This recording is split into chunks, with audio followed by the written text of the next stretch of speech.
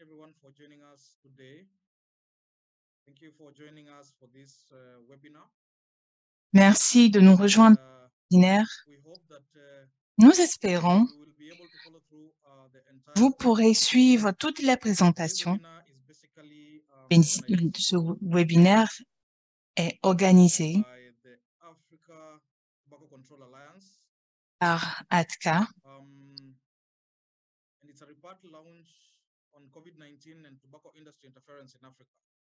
et nous parlerons Hope that you can all hear me. I hope I'm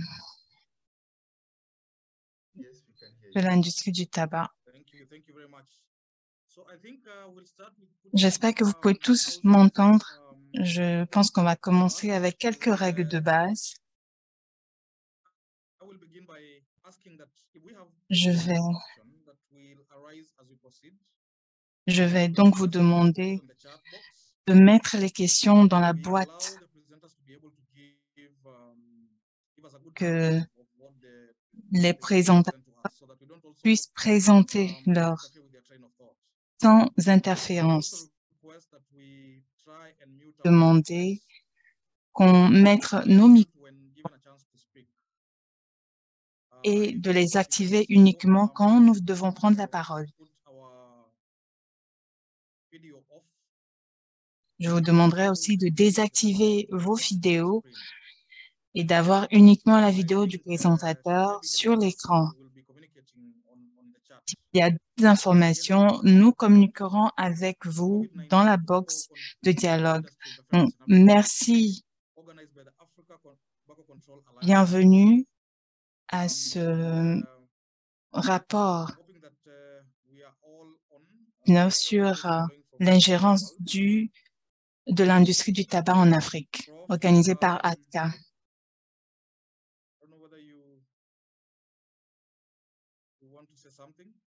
Je ne sais pas si vous voulez dire quelque chose avant de donner des informations sur cet événement. So, um, as we're getting ready, I think I will go straight to Au fur et à mesure qu'on se prépare, je vais vous expliquer pourquoi nous avons un webinaire aujourd'hui. Mesdames et messieurs, la COVID-19 um, roller coaster for a été difficile pour tous les pays dans le monde, toutes les nations the challenge that came with COVID-19. ont compris le défi qui venait avec la COVID-19. En Afrique, la pandémie avait ses difficultés précises, surtout pour nous dans l'industrie du contrôle du tabac. On a eu beaucoup de misfortunes, de, de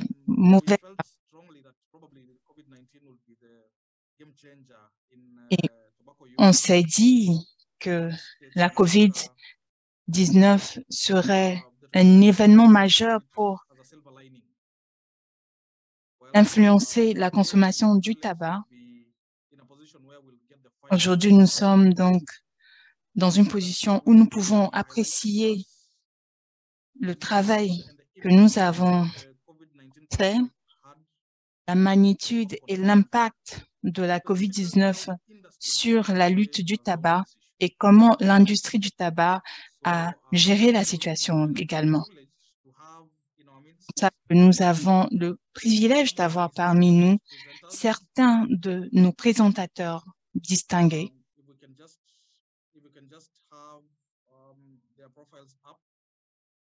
Si nous pouvons avoir euh, leurs photos.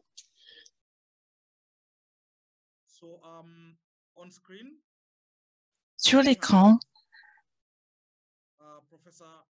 nous avons professeur Olalekan Ayo Youssouf. Professeur Youssouf est très actif en Afrique du Sud et dans le monde, président de l'Institut de, de- dans l'industrie du tabac à Pretoria. Il a travaillé pendant 20 ans, surtout en Afrique du Sud,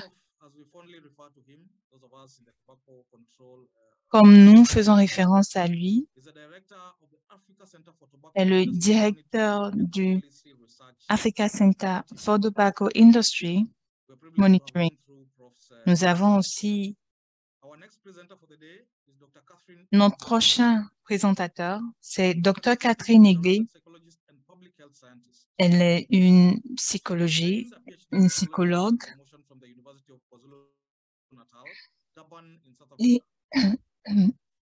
elle est basée en Afrique du Sud.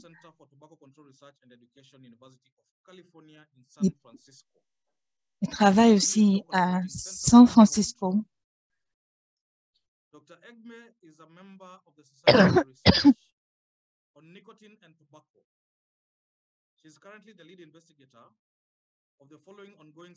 Elle, elle est la spécialiste, la scientifique spécialiste pour l'alcool et le, le tabac en Afrique du Sud.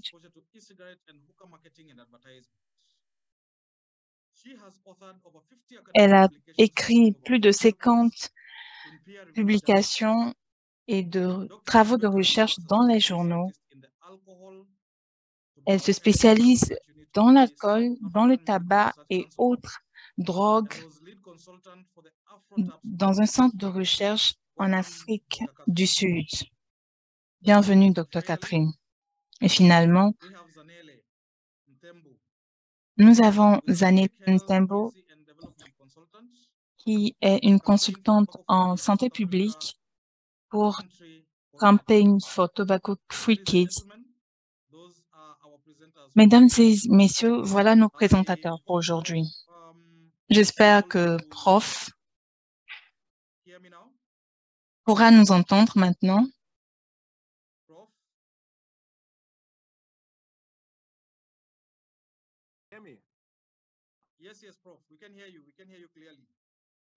Oui, nous vous entendons clairement. Merci, prof. Je pense que je vais vous donner la parole maintenant.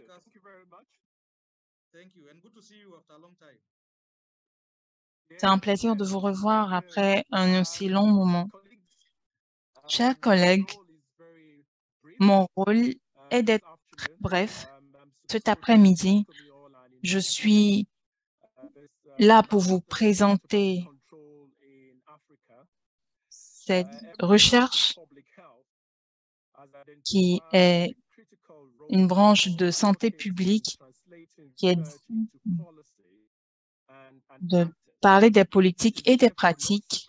C'est donc cette, ce rapport de recherche présenté à des institutions de par la région qui travaillent contre l'industrie du tabac.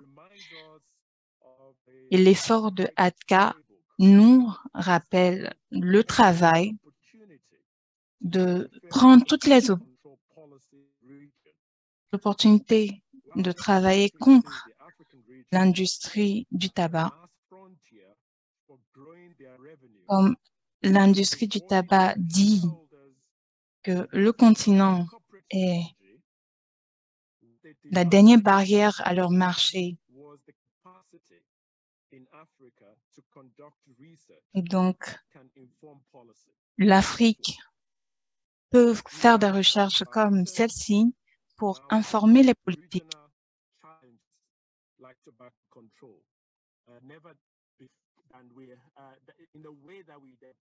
de manière à ce que nous puissions influencer ce travail.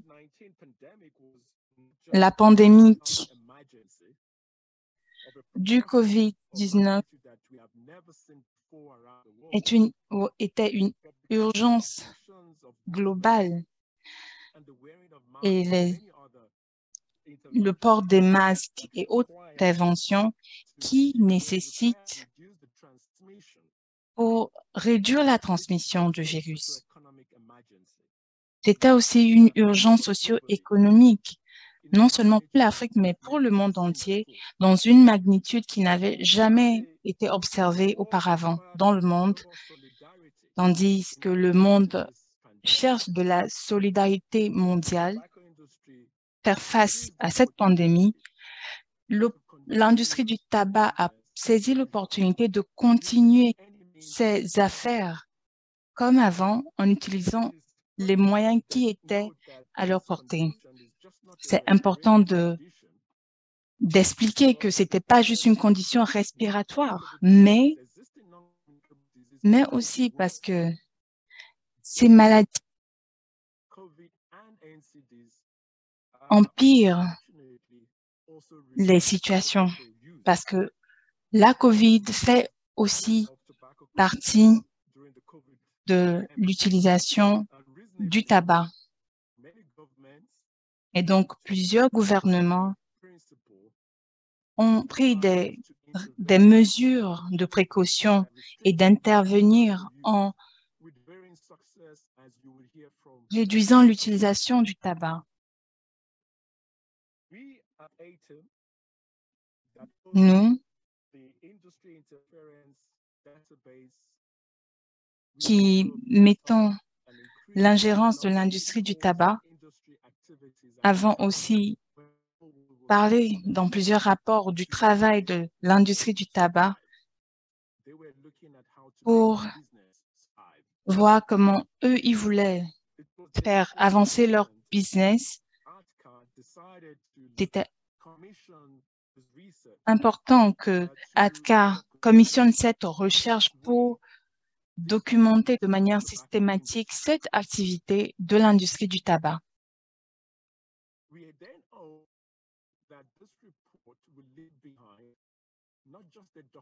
Nous avons donc compris que ce rapport montrera au-delà de ce qui se passait durant la COVID-19, mais ça permettra aux autres recherches de comprendre la méthode qui peut être utilisée pour documenter l'ingérence de l'industrie du tabac en utilisant des méthodes scientifiques. Je dois dire que à ce moment, je suis à une conférence des scientifiques du monde et vous n'y croirez pas, Philippe Maurice est aussi présent à cette conférence. Et ils ont donné des fonds pour le journalisme des sciences. Et donc, ils sont en train d'utiliser la science pour capturer les, les, les chercheurs. En d'autres termes, sont en train d'améliorer les rapports. Et j'espère que après ce rapport, nous pourrons comprendre l'importance de la science. L'industrie comprend l'importance d'utiliser des scientifiques. J'espère qu'après ce rapport, nous allons aussi pouvoir comprendre l'importance de la recherche dans l'ingérence de l'industrie du tabac. Je pense que nous prendrons aussi la cessation du tabac plus sérieusement. Je pense que ça montre aussi que les gouvernements doivent ajouter, urgemment travailler sur la mise en place de l'article 5.3. J'aimerais vous remercier tous et vous demander de prêter attention à tous ces scientifiques qui vous présenteront le contenu de ce rapport. Et j'espère que je vous rejoindrai pour des actions se basant sur ce rapport en Afrique. Merci et bonne suite de programme. Merci, prof. Ça a été très instructif. Nous espérons qu'il y aura une bonne discussion et qu'on pourra apprécier le rapport des experts. Sans plus attendre, j'aimerais inviter Dr. Catherine pour qu'elle fasse sa présentation. Juste avant qu'elle vienne, j'aimerais vous demander d'écrire les questions dans la boîte de discussion et nous nous assurerons que toutes les questions trouveront des réponses, soit des questions ou autres.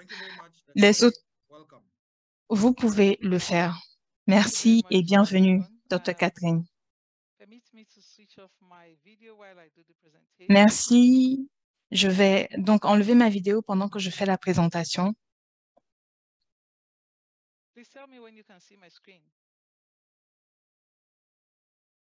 We can see the screen.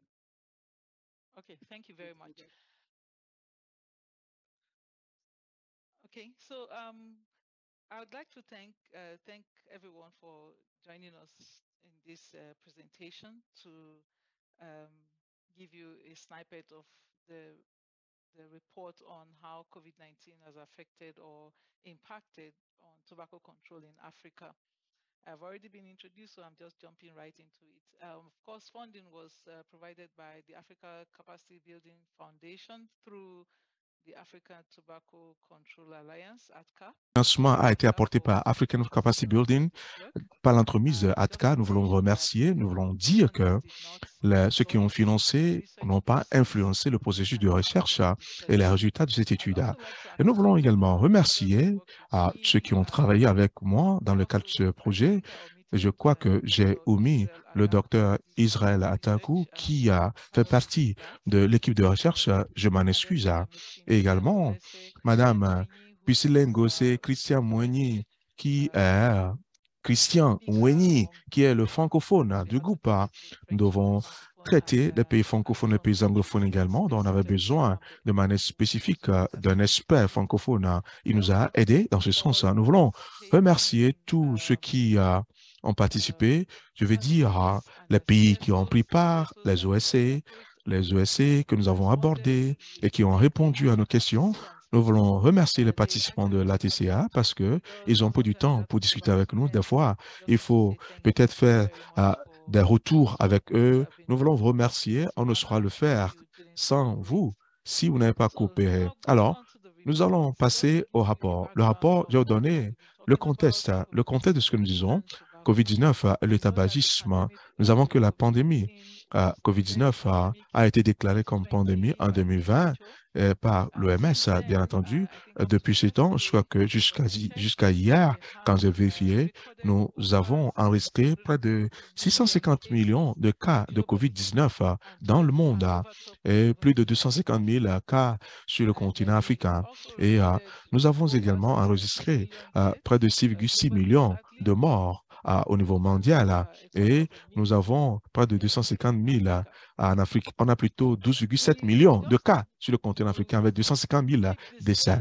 Alors, nous devons, nous savons que le tabac tue environ 8 millions de personnes chaque année. Alors, nous ne voulons pas faire une comparaison entre le taux de mortalité de COVID et le tabac. Mais mettre les choses en perspective. Nous sommes des défenseurs de la lutte anti-tabac. Il faut voir les choses dans la perspective de uh, l'impact du tabac sur la population. Nous savons également que le tabagisme augmente le risque d'infection respiratoire, affaiblit le système immunitaire et est impliqué dans de nombreuses maladies chroniques et exacerbe les conditions de santé dues à ces maladies chroniques.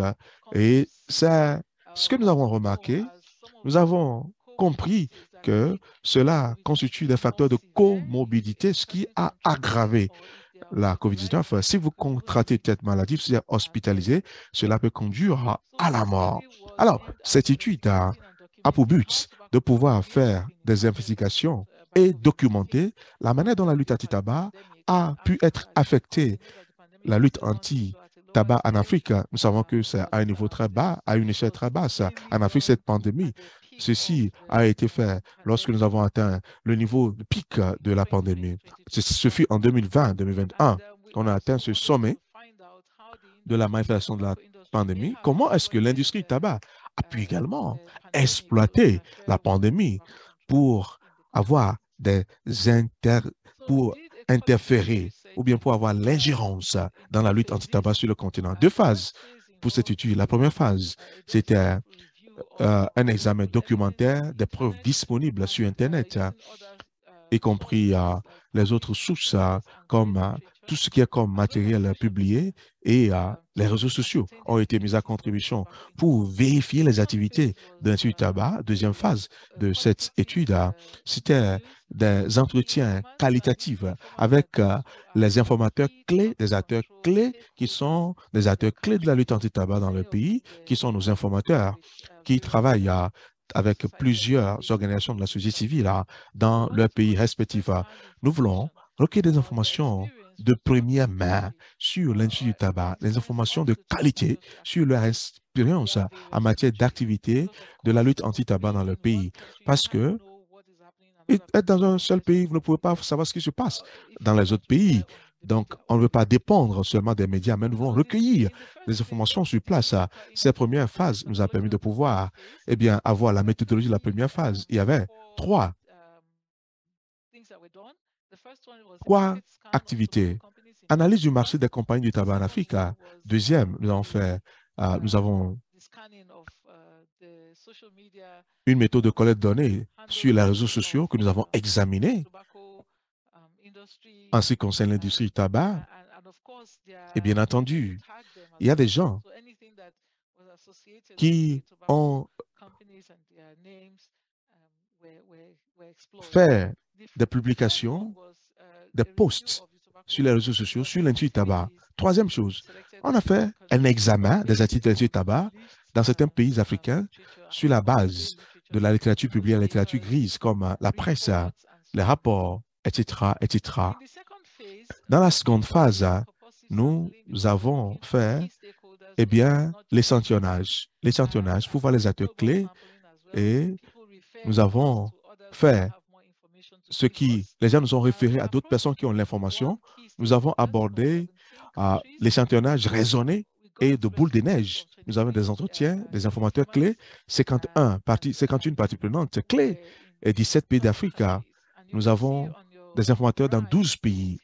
À votre droite, vous voyez les caractéristiques démographiques des participants à cette étude et leur pays. Nous avons des participants qui ont plus de 18 ans et résidaient dans l'un des pays de l'Afrique subsaharienne et avaient au moins deux ans d'expérience en matière de lutte anti-tabac. Nous voulons des gens qui sont des acteurs euh, vrais de la lutte anti-tabac. Nous avons les, les entretiens semi-structurés et guidés. Les interviews se sont, ont été menées en français et en anglais selon la langue de choix des participants. Nous avons traduit les entretiens qui ont été menés en français avant les analyses. Nous avons enregistré uh, les entretiens et les analyses ont été faites en utilisant un logiciel appelé Vivo. Nous avons fait l'analyse thématique qui a été réalisée.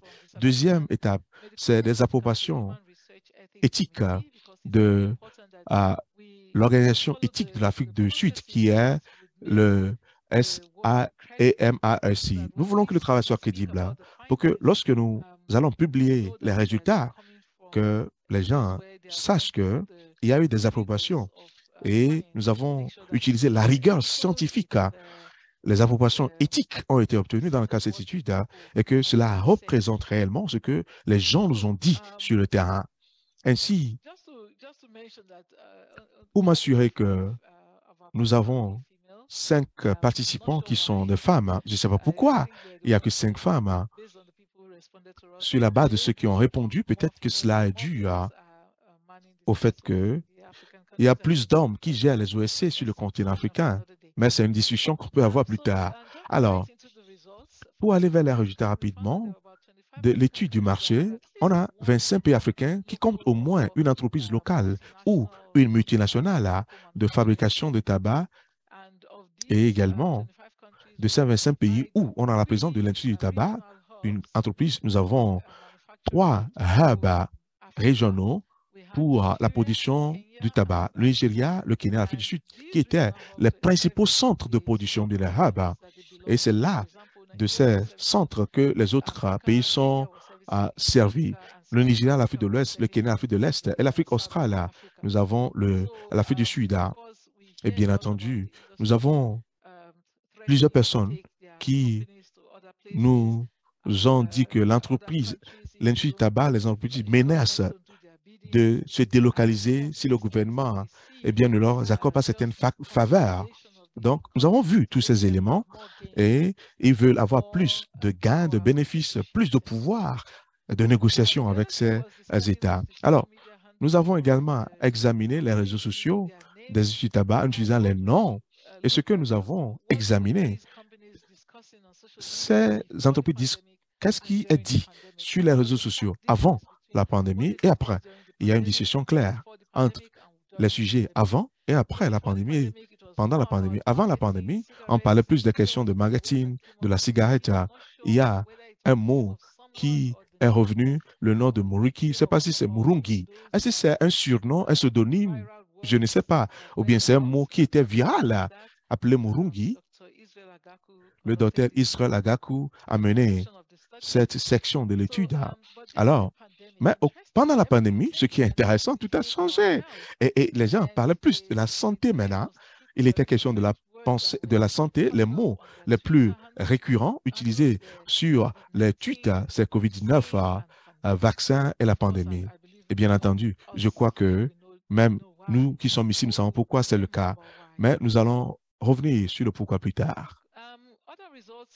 Euh, les autres résultats que nous avons eu la première phase, c'était le fait que eh bien, il y a des annonces qui ont été faites par BAT, British American Tobacco, sur la recherche et le développement d'un vaccin végétal. Cela a changé la donne en termes de discussion pendant la pandémie parce que cela a généré assez de discussions en ligne, beaucoup d'écrits en ligne, parce que plusieurs organes de presse aurait l'information, beaucoup de tweets sur cette annonce de BET qui sont en train de mettre au point un vaccin.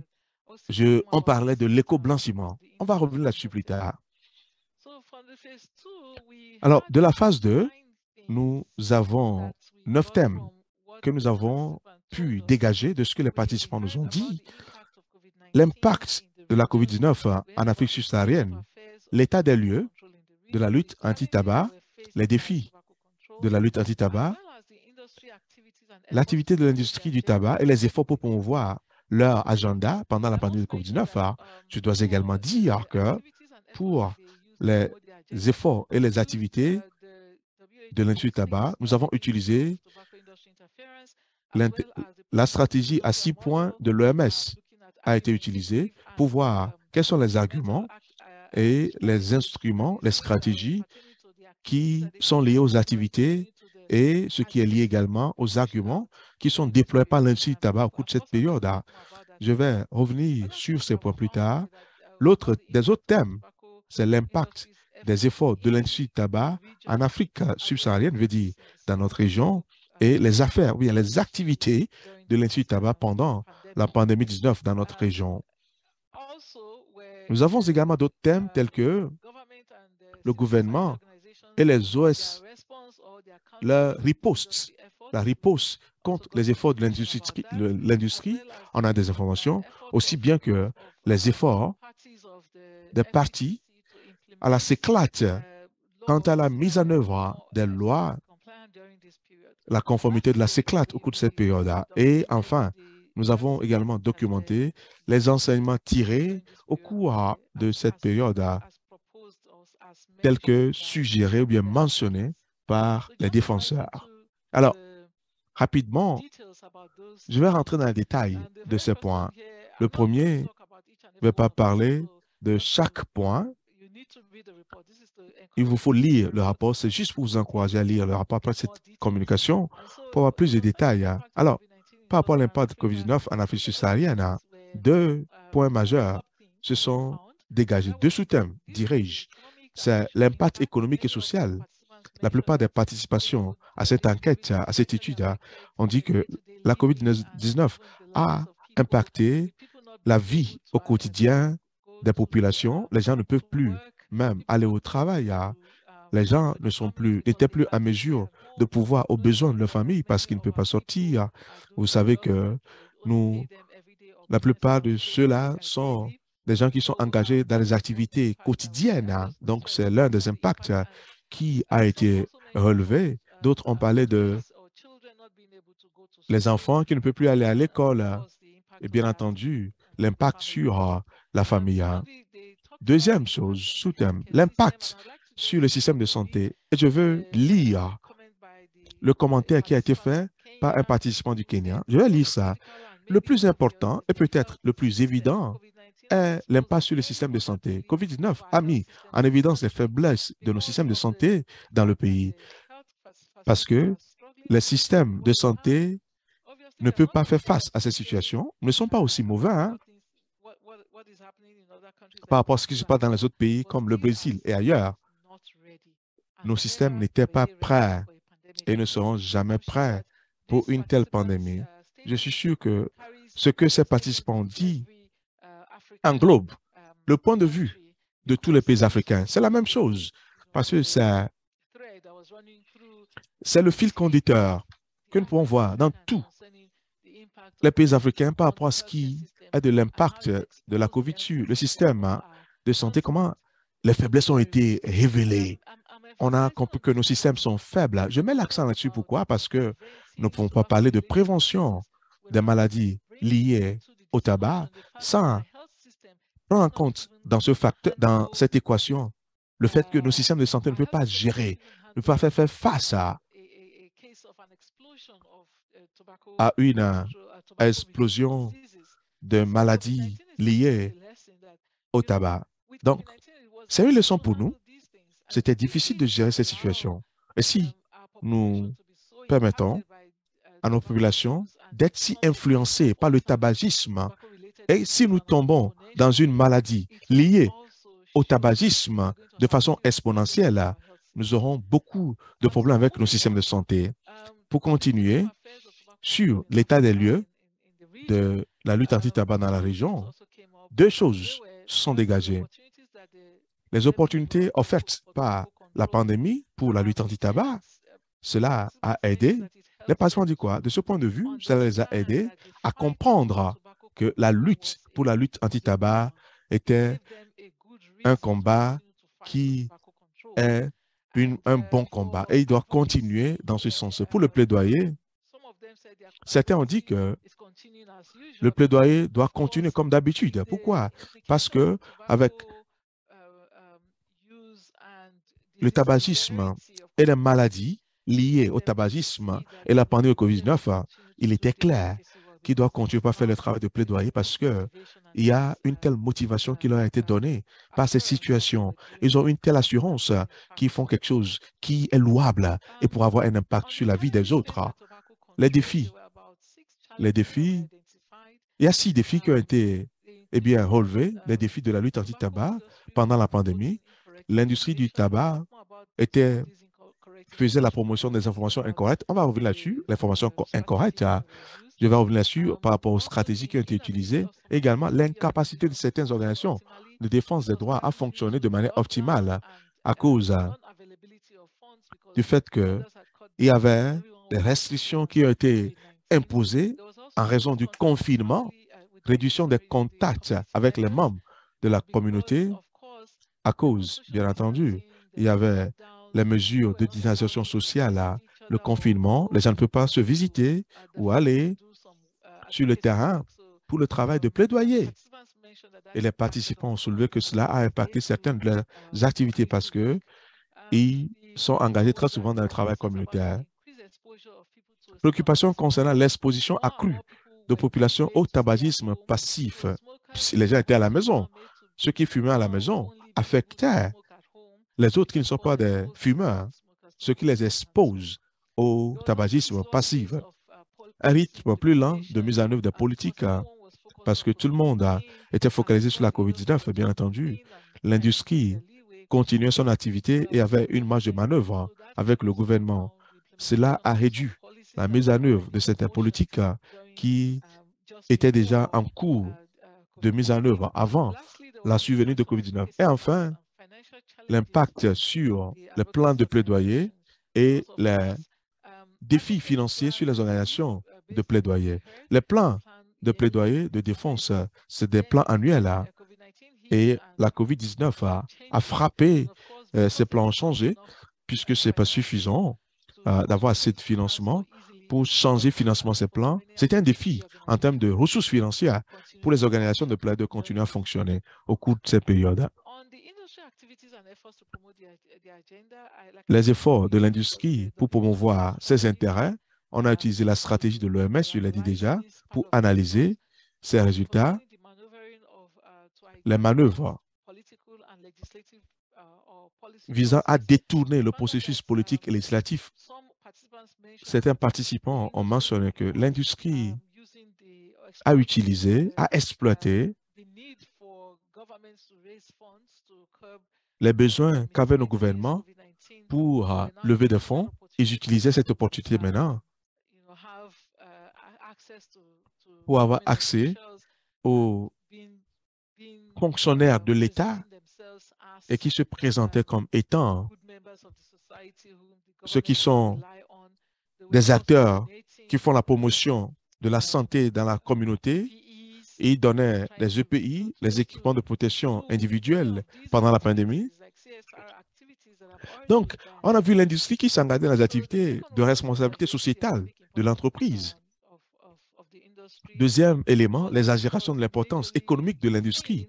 Ceci a été remarqué principalement en Afrique du Sud, lorsque la COVID-19 avec il y a le confinement et également une interdiction de vente des produits du tabac en Afrique, en Afrique du Sud.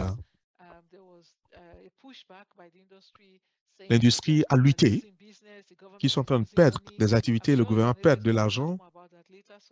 On va revenir là-dessus plus tard, je ne vais pas entrer dans ces détails sur la manipulation de plan public pour obtenir une apparence de respectabilité, cela est lié aux activités de responsabilité sociale de l'entreprise. Comment cela a été fait sans phase Avec euh, la publicité, le marketing, les réseaux sociaux ont été utilisés pour faire le marketing par l'industrie, là où ils n'avaient pas l'autorisation de vendre leurs produits et ils faisaient des dons pendant la pandémie, le parrainage des programmes et également faisaient de promotion de certaines activités qui sont contraires à la lutte anti-tabac et faisait des plaidoyers sur le commerce illicite. Je sais que l'industrie même, vous le savez, est impliquée, fait la promotion du commerce illicite ou bien participe au commerce illicite, mais ils se présentaient comme les gens qui faisaient eh bien, un plaidoyer contre le commerce illicite. Ils sont en train de manipuler l'opinion parce que les gens ne penseraient jamais que l'industrie même qui lutte contre le commerce illicite est impliquée, est trempée dans l'industrie illicite. Et nous avons également les médias, également. La mise au point des vaccins fabriqués en soutien par le bien du groupe de façade et les vaccins. Nous avons également des études qui ont été publiées particulièrement. Des documents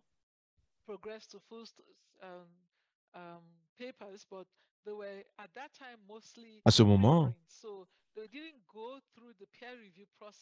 c'est des publications qui ne sont pas passées par les revues des pairs comme cela se doit. Les gens ont reçu des fonds pour publier des articles.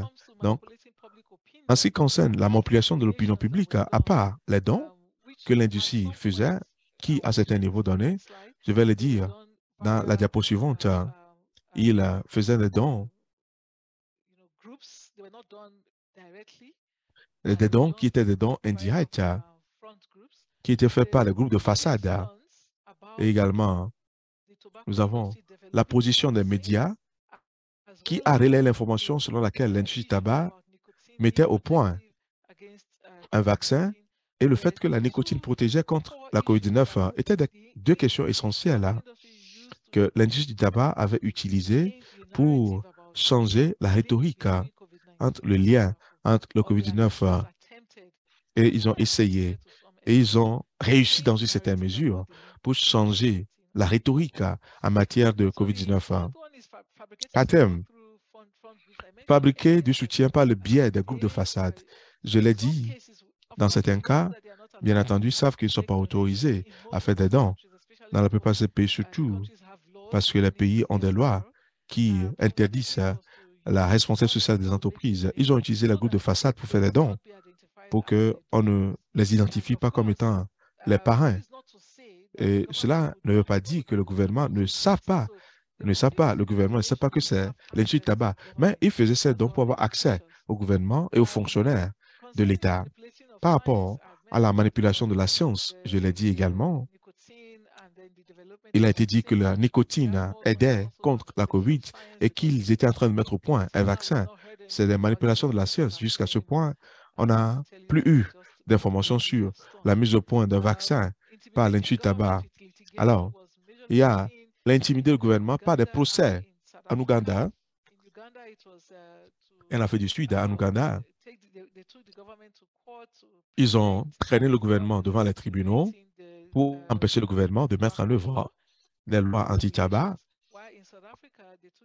Et en Afrique du Sud, le gouvernement est traîné devant les tribunaux dans deux affaires pour l'interdiction de la vente des produits tabac pendant le confinement. Alors, l'impact des efforts peuvent également être catégorisés en trois.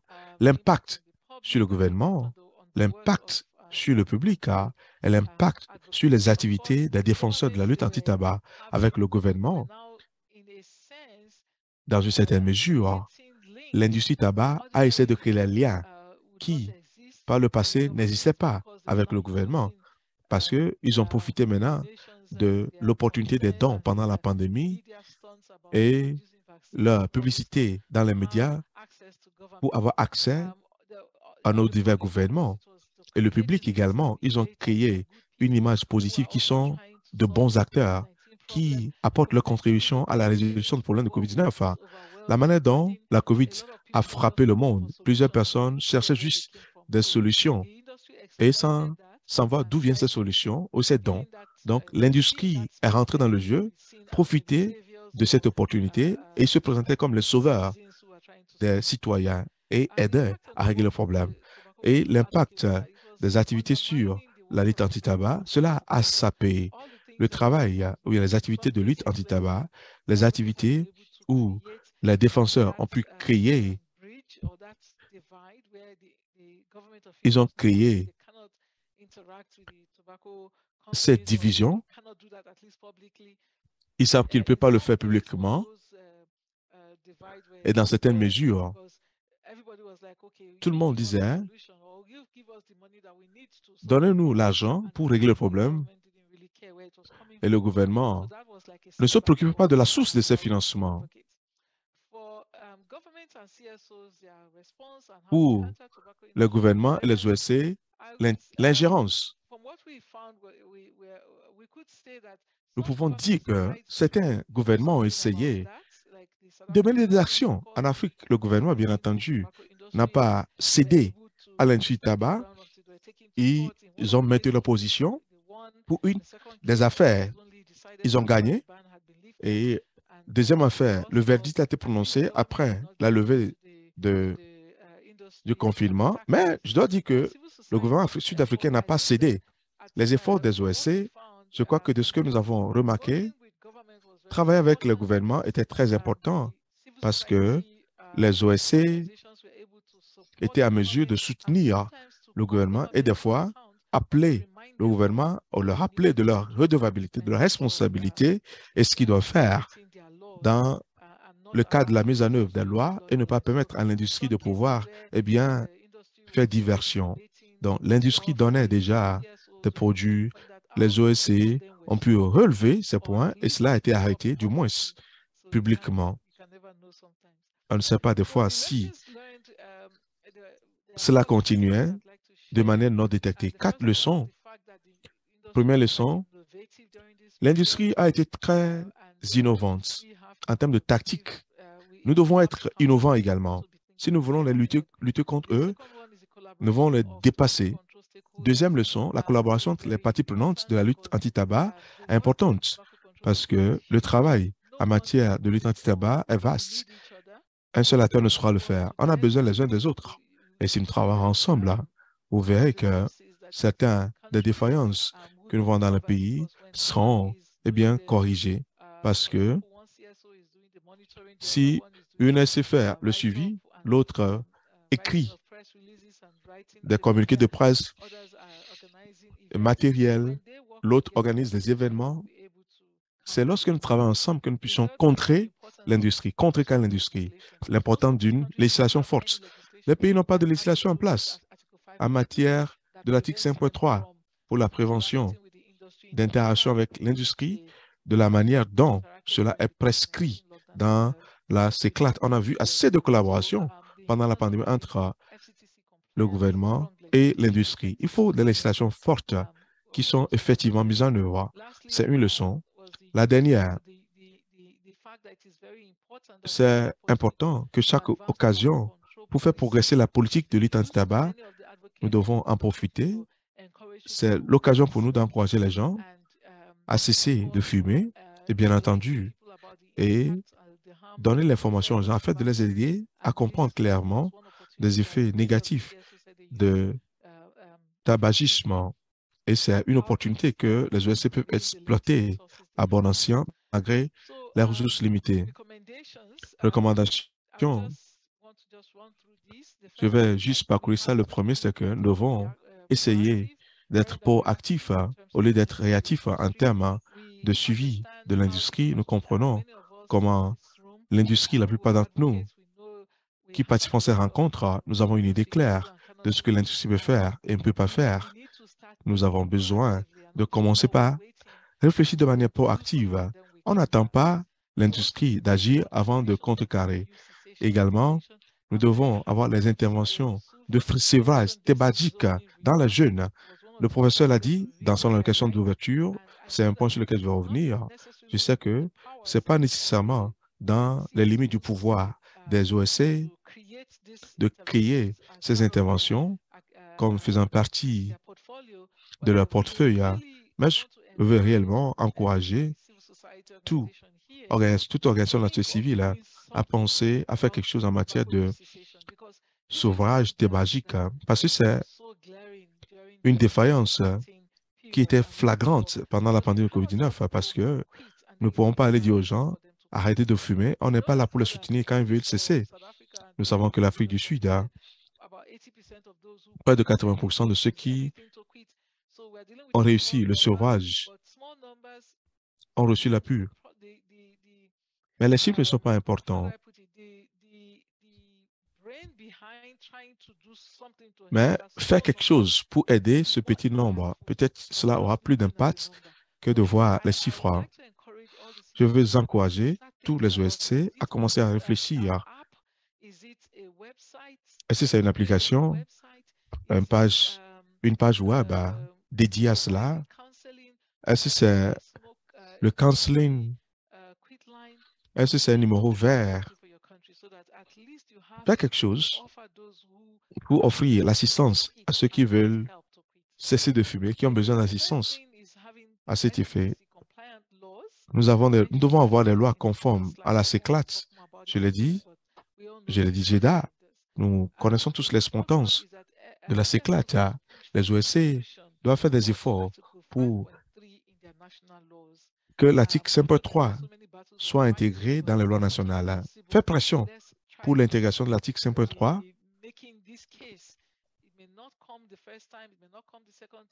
Peut-être vous ne réussirez pas la première fois, la seconde fois, mais que ça soit dans le subconscient des décideurs politiques que cette loi doit faire partie de la législation nationale. Une fois cela est fait,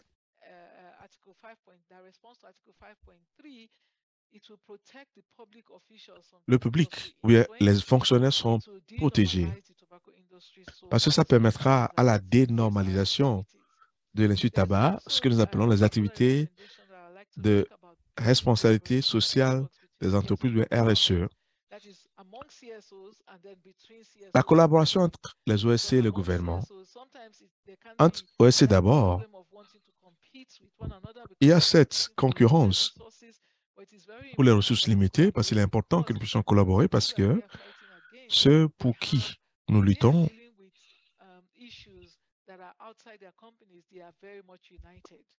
sont unis, ils peuvent lutter, mais quand ils veulent nous combattre, ils s'unissent. Apprenons cette leçon d'eux. Unissons-nous comme l'industrie tabac est unie pour nous combattre, afin que nous puissions également les combattre et faire ce qu'il faut. Parce que si nous voulons rentrer en opposition au gouvernement, cela ne va pas dans notre faveur. L'industrie veut les considérer comme des amis. Il faudra que nous puissions considérer les gouvernements comme nos amis également. Parce que s'il y a l'antagonisme, le gouvernement ne va plus s'ouvrir à nous. Donc, essayons d'utiliser cela pour que lorsque ces derniers ont besoin de nous, ils viendront vers nous et nous irons vers eux à chaque fois que le besoin se fera sentir. Les politiques de lutte anti-tabac doivent utiliser une approche globale, une approche multisectorielle. Très souvent, c'est les ministères de la Santé qui sont chargés de l'exécution de ces programmes. Quand on parle de pertes en matière d'impôts, si les agriculteurs n'ont plus de terres à cultiver, cela a plusieurs ramifications dans le secteur de l'agriculture, dans le secteur des finances du commerce. Les ministères également devront travailler ensemble. Une approche multisectorielle impliquant tous les acteurs du gouvernement et plaidoyer pour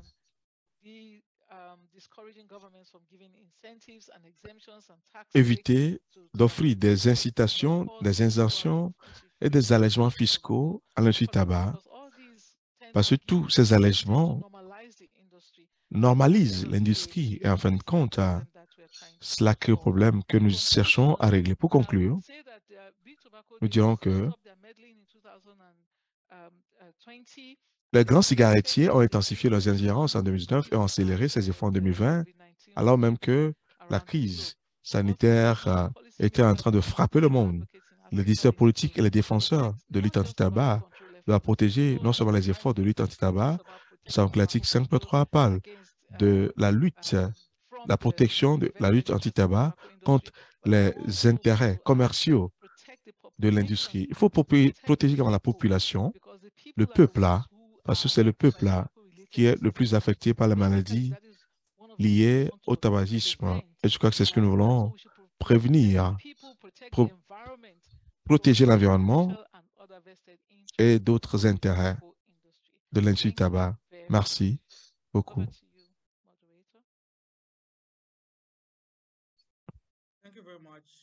À vous, modérateur. Merci, Dr. Catherine.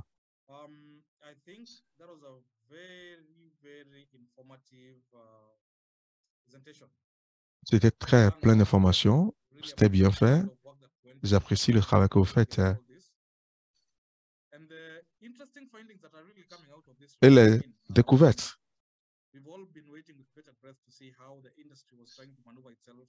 On va voir comment l'industrie et les défis que nous avons.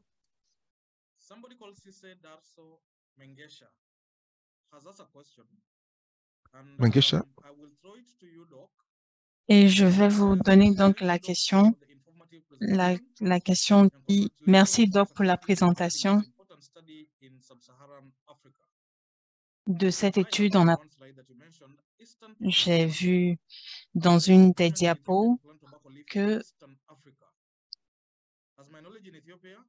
ma connaissance en Éthiopie, il y a une compagnie en Éthiopie. Est-ce que vous pouvez partager l'information que vous avez sur l'Éthiopie ou mieux nous expliquer ce qu'il en découle? Doc, est-ce que vous pouvez nous entendre?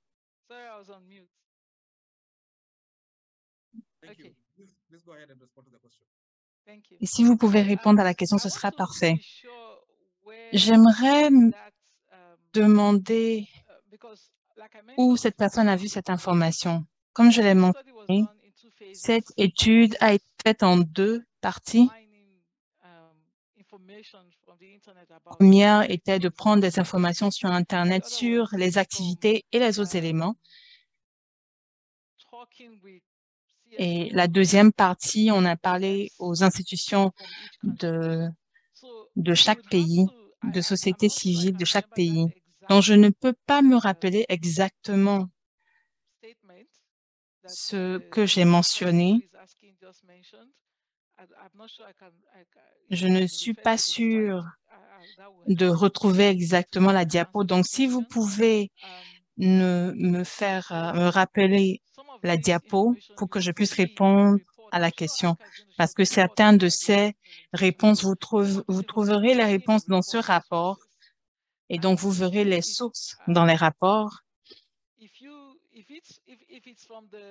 Et si c'est de la phase 2 qui est l'interaction avec les, la société civile, vous allez voir aussi les personnes qui ont répondu et si c'est aussi dans la phase 1, vous regarderez aussi les sources. Donc, je pense que une fois que le rapport sera partagé, vous aurez toutes les informations qu'il faut. Merci, Dr. Catherine. Je pense que Dr. Catherine a essayé de répondre à votre question. Donc, on va attendre le rapport afin que vous puissiez analyser et voir si vous trouvez l'information. Merci encore une fois, Dr. Catherine. Nous apprécions énormément l'apport que vous nous apportez dans votre présentation. Nous allons demander donc s'il y a d'autres questions. On va les partager avec nos présentateurs au fur et à mesure de la présentation. Donc, si vous avez des questions, nous, vous pouvez lever la main et nous vous donnerons la parole. Je vais maintenant inviter Zelle Tembo pour la présentation. Zenle, si vous pouvez m'entendre.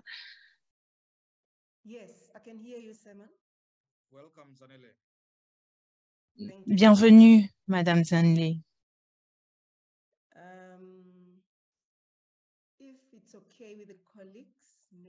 Donc, si, vous si ça va, um, je vais enlever ma vidéo et je vais je veux vous remercier de nous avoir invités ici et également, c'est une réunion très importante pour nous que mon collègue vient de partager les découvertes avec nous et particulièrement pour nous dans notre région parce que nous savons combien l'Afrique est devenue un terrain pour l'industrie, même hein, lorsque nous étions dans une situation terrible. Hein. Alors, sans perdre de temps, je vais continuer.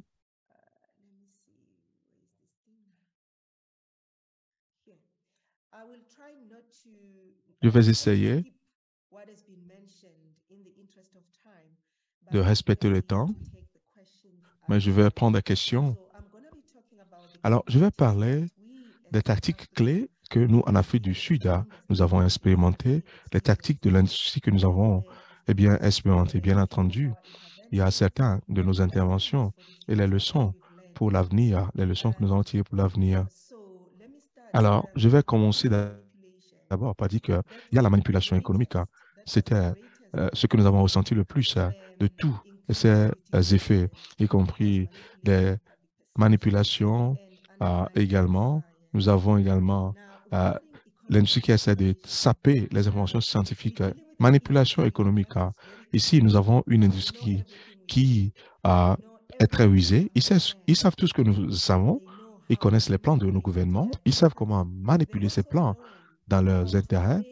Et également, ils savent comment jouer sur l'émotion du public. Hein. C'est exactement ce qu'ils ont fait en Afrique du Sud. Hein. Ils ont joué sur l'émotion du public, sachant exactement que c'est une situation économique qui était en cours et les défis économiques auxquels les gens étaient confrontés, ils ont tiré parti de cette situation. Pourquoi Je l'ai dit, en ce moment, notre taux de chômage était très élevé, près de 30% actuellement, c'est légèrement au-dessus de 30% Deuxième chose, le taux de chômage des jeunes était également élevé en ce moment, actuellement, jusqu'à ce jour. Taux de chômage au sein de 15 et 24 ans.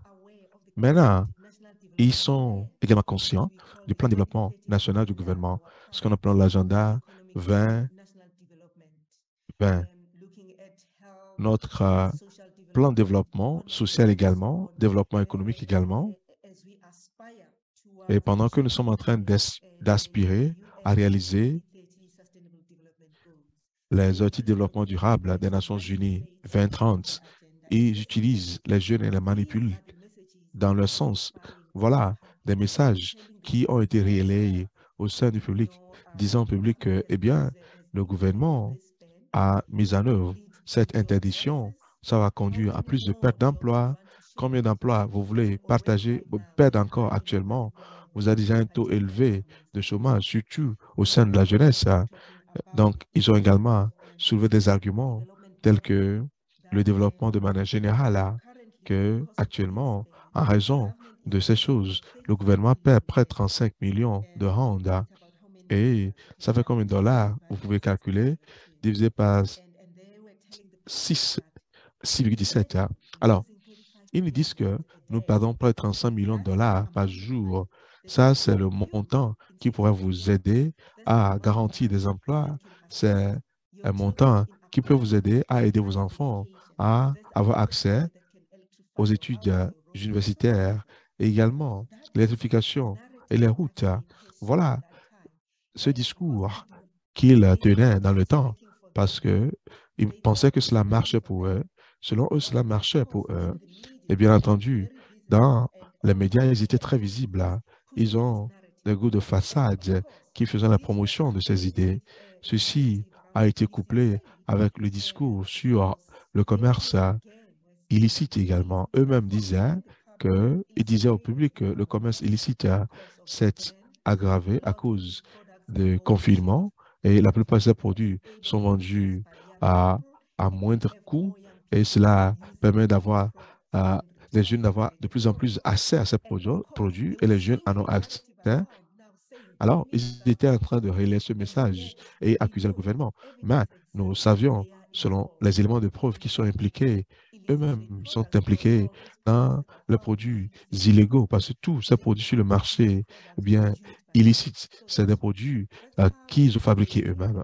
C'est ça comment ils ont cherché à exploiter la situation économique hein, et à manipuler le discours économique hein, en leur faveur. La seconde chose hein, que nous avons expérimenté, c'est les,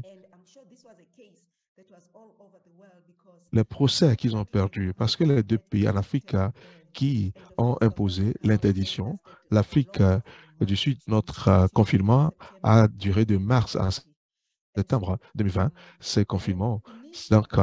Alors, initialement, ce qu'ils ont fait, le public soutenait le confinement, le l'interdiction plutôt des produits tabac, parce que le gouvernement était à mesure de pouvoir parler à la population pour leur expliquer que nous protégeons le système hein, euh, de santé de notre pays pour que cela ne soit pas attaqué.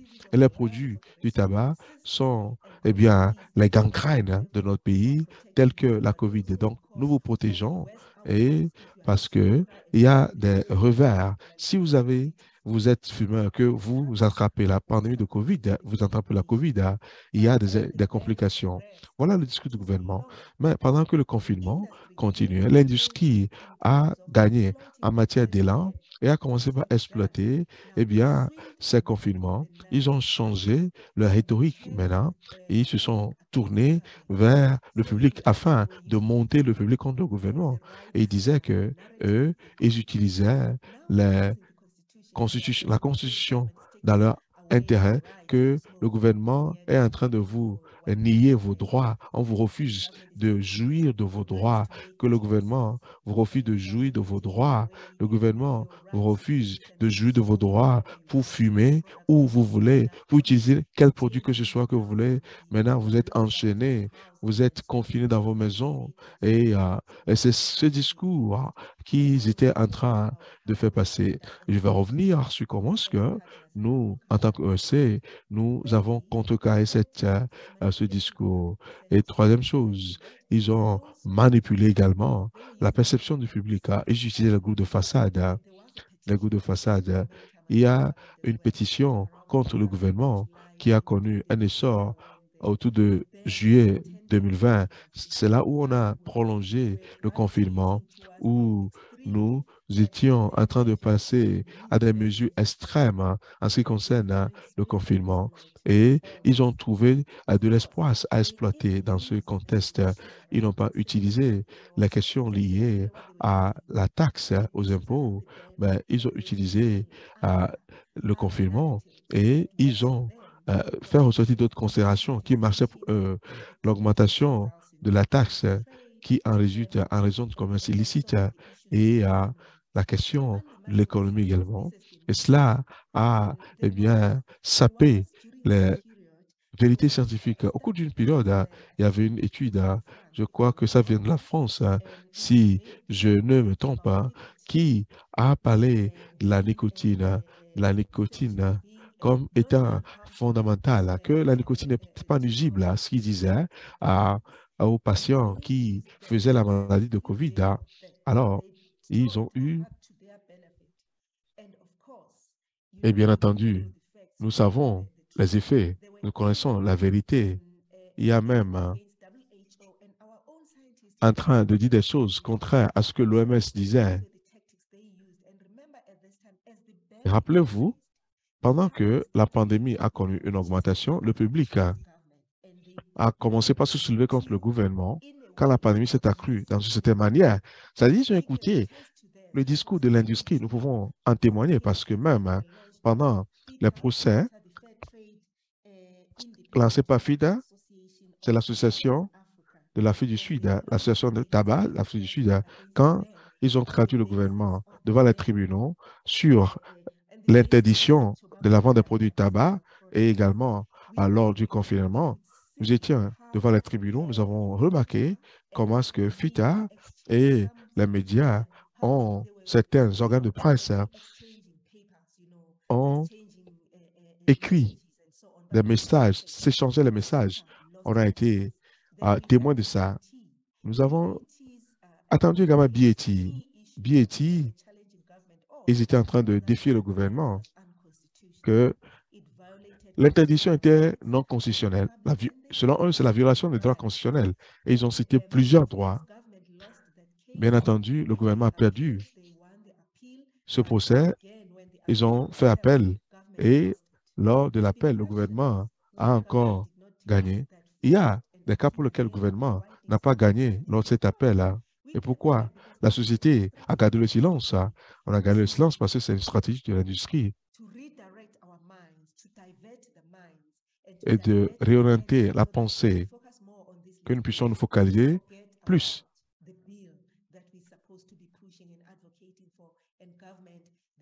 et le gouvernement, ils doivent oublier et que c'est une conclusion logique selon eux. Quelles étaient nos actions en tant qu'OSCE Première chose, nous devons nous mettre ensemble pour analyser le problème, pour voir quel est le problème exactement par rapport à ces procès, par rapport à l'interdiction et le discours économique fait par l'industrie du tabac et tous les autres points qui ont été soulevés? Littéralement, nous avons essayé d'examiner tous les points.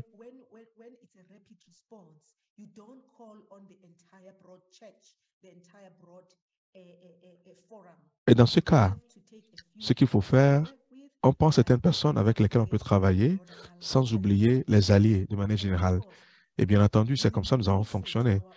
Nous sommes reconnaissants à nos scientifiques qui nous ont soutenus et nous avons examiné l'industrie tabac et les documents qui étaient soumis devant les tribunaux. Nous avons eu certains des juristes, les scientifiques qui, grâce à la science, pour pouvoir communiquer avec d'autres euh, experts dans le monde pour nous aider à examiner ces documents. Et bien entendu, ceci, nous a permis, encore une fois, à travailler directement avec le gouvernement, parce qu'avec le gouvernement, nous avons de bonnes relations, de relations cordiales avec le gouvernement, particulièrement le département national de la santé et d'autres départements. Pendant ce temps, le département, c'est le département de gouvernement local. Je vais appeler gouvernement local en termes simples. Hein. Et en tant que société civile, nous étions devenus des acteurs essentiels et nous allons vers ce département de la santé pour recueillir les informations et ils nous ont consultés également et nous avons été consultés au-delà de la frontière également parce que les tactiques de l'Institut tabac n'ont pas de frontières. Il faut que nous puissions développer notre stratégie d'intervention. Nous, nous avons tiré parti des médias à cause de l'importance des médias pour contrecarrer le discours de l'industrie et notre discours également. Nous avons abordé la question de manipulation et une mauvaise, une mauvaise interprétation de la Constitution. Alors, nous avons tourné cela à notre faveur. Nous avons revu leur discours et nous avons alerté le public. Quelles sont les obligations constitutionnelles du gouvernement? Le gouvernement a l'impératif de protéger les citoyens de tout ce qui est abus, préserver la santé des citoyens, préserver la santé des citoyens, préserver l'économie. Préserver l'économie, c'est préserver toute autre chose qui est essentielle pour le pays. Nous avons utilisé le même discours que l'industrie utilisait. Nous avons reformulé et mettre les choses en perspective selon la vérité. Troisième stratégie utilisée, j'en ai parlé, j'ai parlé des partenaires, des alliés et les rôles, les responsabilités, etc., etc. Quelles sont les leçons que nous avons tirées au cours de cette période avec euh, nos propres interventions? Maintenant, première chose, l'importance du travail des institutions de recherche crédibles. Cela était essentiel parce que même quand nous étions devant les tribunaux, les avocats de l'industrie ont utilisé la science et nos chercheurs dans ce groupe, le nom était mentionné et euh, ils ont été défiés, mais nous étions confiants parce que c'est des chercheurs qui ont une réputation internationale, qui étaient de notre côté. Donc, euh, il faut collaborer avec les institutions de recherche crédibles qui font un bon travail. C'est ça ce qui nous avait aidé. Nous avons utilisé également nos propres atouts. Nous dépendions de nos recherches locales parce que la COVID était une nouveauté pour chacun de nous. On avait besoin d'utiliser les exemples d'ailleurs. Deuxième chose, mobilisation de soutien local et au niveau international. Ceci est important au cours de cette période. Hein. dans, à notre grande surprise, nous avons pu mobiliser plus de défenseurs pour notre loi de plusieurs groupes professionnels de la santé. Nous avons ceux qui sont les experts euh, au niveau des poumons, les cardiologues, les pédiatres et beaucoup, beaucoup d'autres, même les syndicats, les jeunes, les femmes, même les partis politiques. Nous avons pu eh bien, mobiliser l'appui pour la lutte anti-tabac, pour cette loi. Et ce qui est important également pour l'interdiction. Nous avons pu mobiliser plus de personnes qu'auparavant. Et voilà, des organisations avec lesquelles on travaille actuellement à l'avenir pour faire le plaidoyer pour l'adoption de cette loi. Et sur le plan international également, nous voulons remercier la CTA et les membres de la CTA. Nous voulons remercier pour l'appui dont nous avons bénéficié, la lettre de soutien que les membres de la CTA nous ont envoyée pour soutenir eh bien, l'interdiction, cette lettre que nous avons présentée au ministère du gouvernement local qui était le ministère de tutelle chargé de cette interdiction. Cette lettre était lue dans le ministère et les gens disent, c'est qui ACTA ou ATCA? Dites-nous, c'est quoi, c'est quelle organisation? Alors, au niveau du mouvement de l'Afrique du Sud, hein, nous avons un mouvement régional en tant qu'Africains.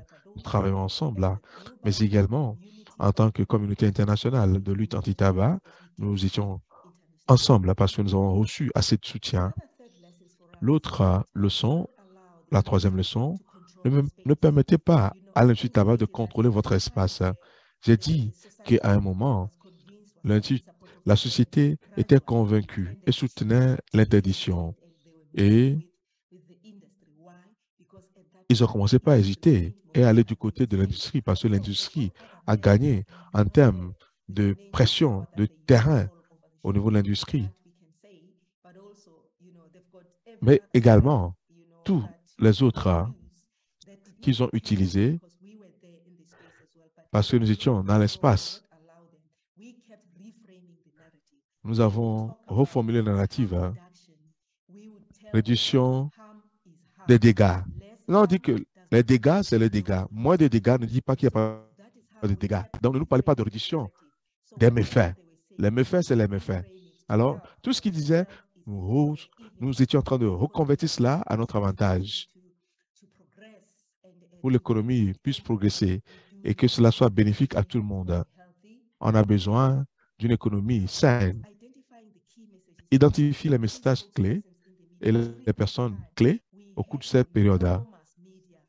Nous avons eu une couverture médiatique énorme. De même que l'industrie utilisait les médias, nous avons utilisé les médias. Les messages clés, nous avons parlé d'une seule voix parce que pendant la crise, il y avait un danger que les gens puissent avoir plusieurs points de vue. Donc, nous avons développé des questionnaires pour tout le monde au cours de notre équipe hein, pour avoir accès pour tout le monde hein, à un certain moment donné, puisse avoir accès à cette information dans les médias, dans vos bureaux, dans vos communautés, dans vos assemblées.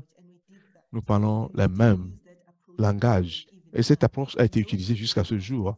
Ces messages sont toujours valables actuellement parce que nous faisons le plaidoyer pour que la loi soit votée. Nous avons la même industrie qui utilise la même narrative contre la loi. Renforçons des capacités des médias. Malheureusement, on n'a pas pu le faire parce qu'on a besoin de la rencontrer en présentiel. Mais ces organes de presse qui faisaient déjà des reportages, nous avons collaboré avec eux, on continue de travailler avec au cours de cette période. Eh bien, pour conclure, je dirais que c'était réellement une phase importante pour nous. Dans la communauté de lutte anti-tabac en Afrique du Sud, c'était hein, une phase importante hein, pour que, encore une fois, nous puissions raviver et réveiller le mouvement de la lutte anti-tabac en Afrique du Sud et revisiter ce qui est important, les messages clés. Et également, apporter plus de soutien au gouvernement parce que nous étions disponibles pour collaborer avec le gouvernement à tout moment et le gouvernement, à travers nous, perspective politique, la science de la s'éclate. Voilà une période réellement très importante pour nous. Catherine a parlé de comment devons documenter ces éléments. Oui, il faut les documenter parce que c'est de bonnes leçons à apprendre, particulièrement sur comment devons nous regrouper et comment devons gérer à faire face à l'industrie, prendre les taureaux par les cornes. Et de là, nous aurons des gens qui sont là, des organisations qui sont ciblées et qui se focalisent sur plusieurs aspects en traitant avec euh, l'industrie et également les aspects de politique euh, de notre loi. Et nous sommes plus forts maintenant qu'auparavant, plus forts à cause de cette interdiction et cet confinement qui nous a servi. L'industrie en a bénéficié également à cause des produits illicites qui étaient déversés sur le marché. Il y avait des groupes WhatsApp qui vendaient des produits. On nous a même dit que les drones qui livraient des produits illicites et ils en vendaient à des prix très réduits. Donc, chers collègues, permettez-moi de conclure à cause des besoins du temps, la question, un des clarifications. Merci. Thank you very much, Zanele. Really appreciate really appreciate that presentation. It was very, very, very well done. Quite informative and really brings out um, the spirit Merci beaucoup. control and uh, and when when we look forward to Nous- voudrons donc continuer la discussion avec en vous. discuter bien plus tard. Pour des raisons de temps, si vous voulez bien me permettre, want to share with us j'aimerais partager avec Nous allons vous partager le avec vous le rapport.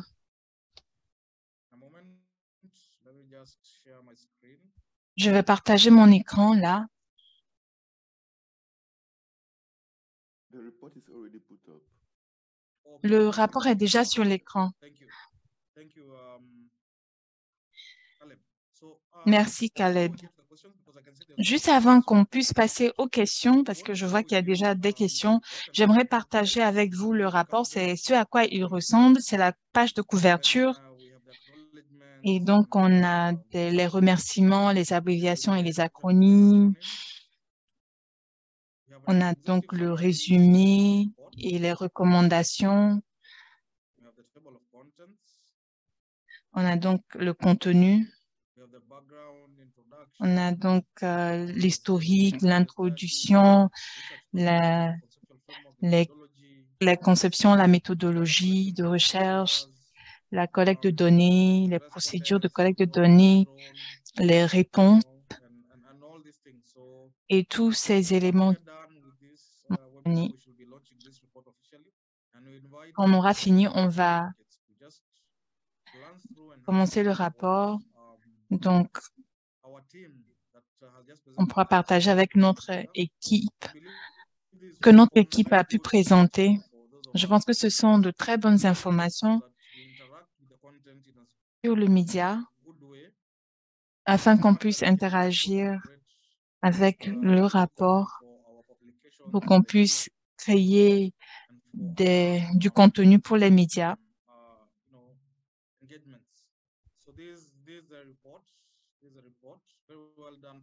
Donc, voici le rapport, un travail très bien fait.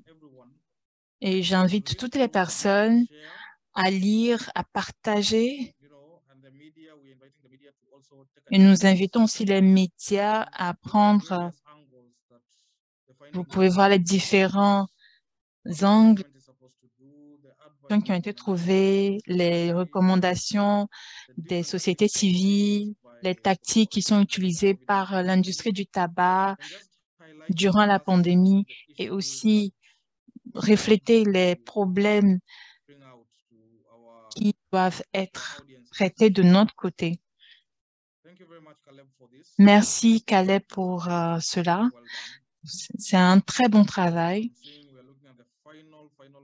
Je suis en train de regarder les dernières pages du rapport. On a partagé un lien avec vous dans la boîte et pour accéder au rapport. Je pense qu'on nous enverra par email toutes nos plateformes. Donc, vous pouvez partager autour de vous et aussi vous pouvez regarder le rapport afin d'apprécier aussi la recherche qui a été faite. Encore une fois, pour des raisons de temps, je vais donc passer aux questions qui ont été posées.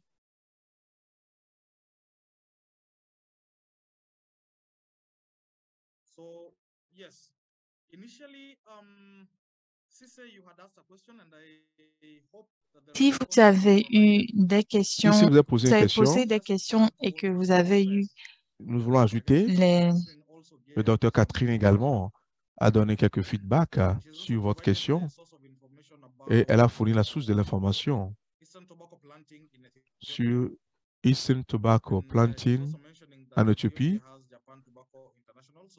Elle a également dit qu'il y a Japan Tobacco International. Docteur Catherine, allez-y, des questions, envoyez vos questions s'il vous plaît. Vous pouvez poser la question maintenant. Je vais juste dire que j'ai vérifié encore une fois le rapport pour voir là où j'ai mentionné l'information.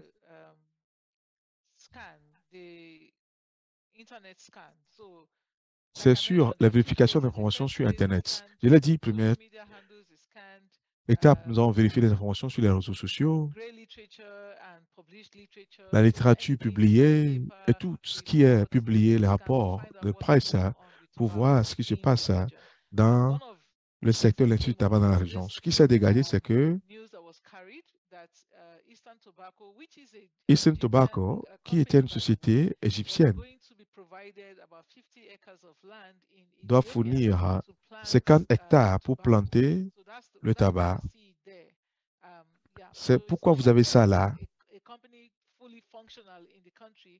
Ce n'est pas pleinement fonctionnel dans le pays, selon le rapport.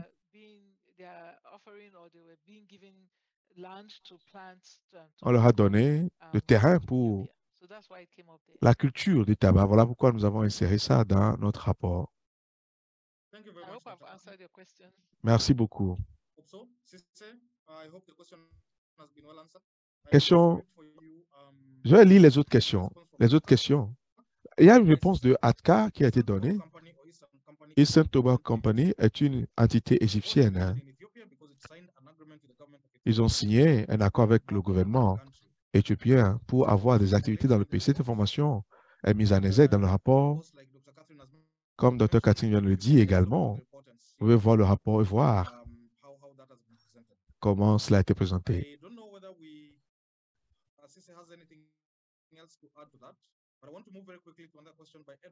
Je vais répondre aux autres questions rapidement. Says, "Thanks for the good presentation. My Merci pour cette bonne présentation. Quelles sont les étapes à prendre? Pour s'assurer que l'industrie du tabac ne profite pas des pandémies futures. Dr. Catherine a cette question. Merci posé cette question. Ma recommandation, l'avant-dernière diapo, c'est la recommandation.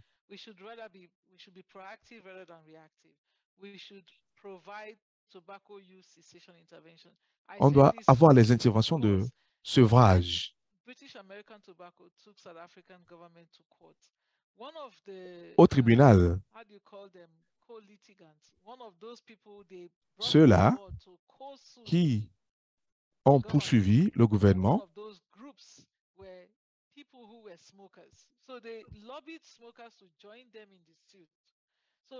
we must be seen. I believe that we must be seen as people who are not nous against devons être ceux-là but against smoking.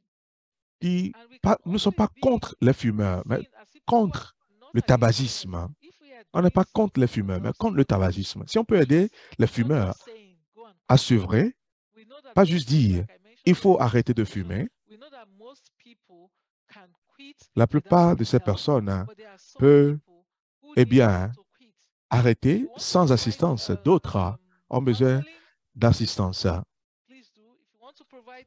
Si c'est le counseling, allez-y.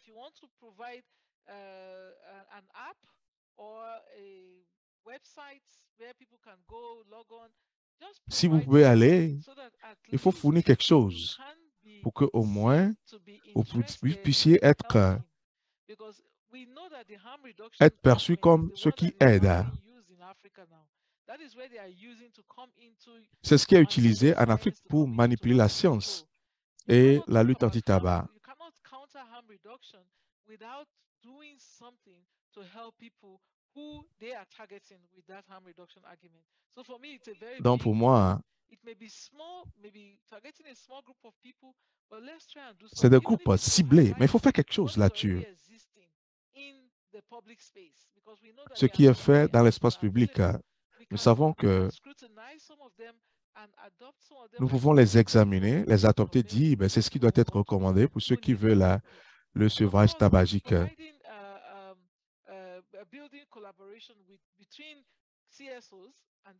Uh, uh, between CSOs and government to make sure that you have access to government to be able to uh, be called upon to provide support to government. On, veut- on doit faire appel. we were able En Afrique du Sud, cela se, se- se- se- passe.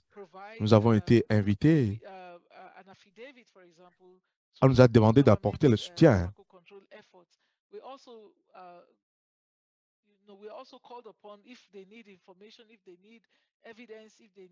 On a, si on a besoin, South African Medical Research Council, and mine is mo- more, di- is a little bit different from the others, but we, what I'm calling on CSOs to do is to be the go-to Les if doivent être needs organisations auprès tobacco, le gouvernement vient pour done fournir des informations. Et ce sera le cas si seulement ici, si ici, comme ce que Simon a dit, vous commencez par utiliser certaines informations que la CTA nous a fournies. Ces recherches qui ont été faites, ces informations que cela soit considéré comme des ressources. On doit nous considérer comme des ressources pour que le gouvernement vienne vers nous. Sinon, ils iront vers l'industrie et iront chercher l'information auprès de l'industrie. Il nous faut également nous focaliser sur faire des efforts pour mettre en place certaines dispositions.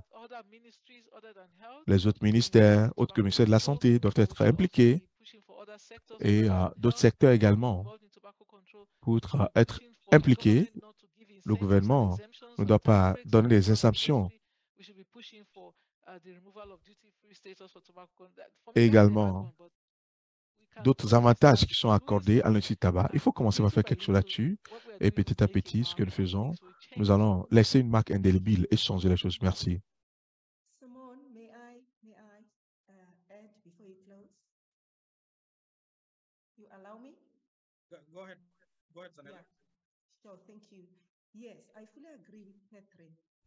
Je suis d'accord avec Catherine. J'aimerais également ajouter que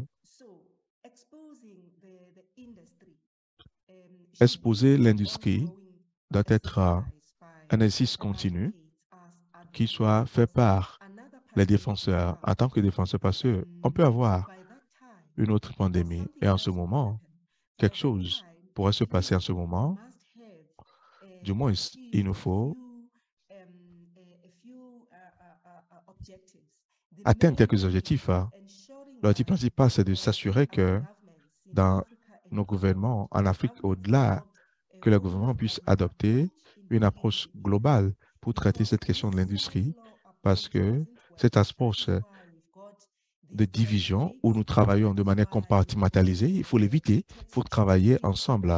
Nous avons des produits de duty free qui sont vendus parce que chaque ministère, chaque département traite l'industrie de manière à ce que cela puisse les arranger.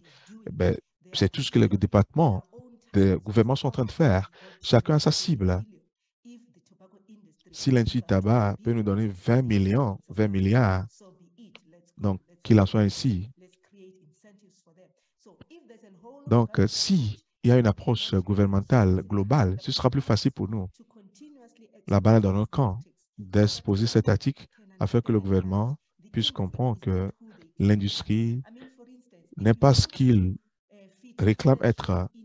Si vous allez à FITA, l'association de l'Afrique du Sud, la première ligne sur le site web, voilà ce qui est dit.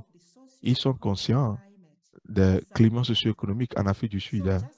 Donc, euh, juste cela, c'est cette déclaration. Ils veulent exploiter le climat socio-économique à leur avantage. Nous devons sensibiliser le gouvernement sur ces questions pour qu'ils sachent ce que l'industrie a, ce que l'industrie fait, pour avoir les faveurs, pour avoir plus de profit.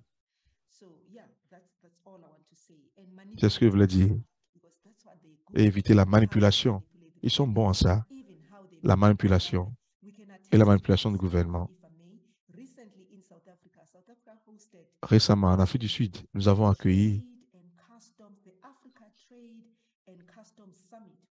le sommet du commerce et des douanes en novembre de cette année. Pour nous tous ici présents, on se posait la question, mais qu'est-ce qui se passait? Nous avons invité, demandé à l'ATCA, la CTA, de mobiliser le soutien. De la même manière, nous mobilisons l'appui dans cette région. Qu'est-ce qui s'est passé?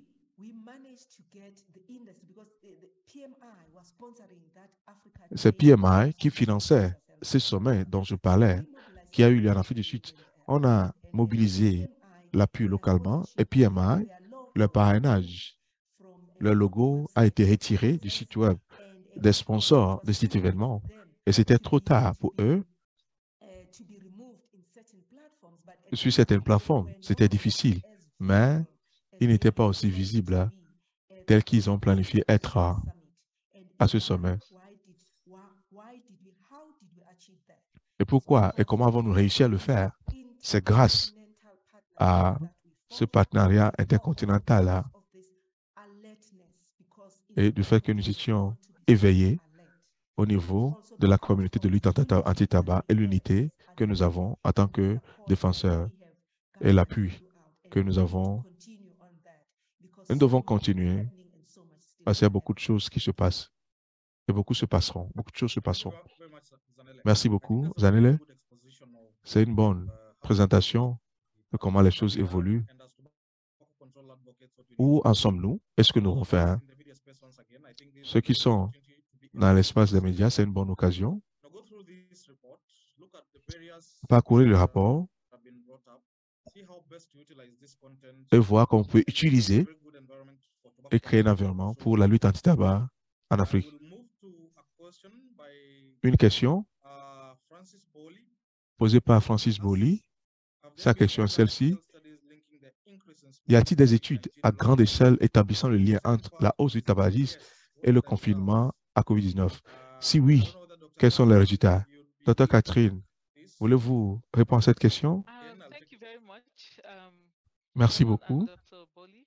I'm not aware of Je ne suis pas informé s'il y a une étude à grande um, échelle qui a été menée, qui établit le lien. Et euh, je ne suis pas sûr,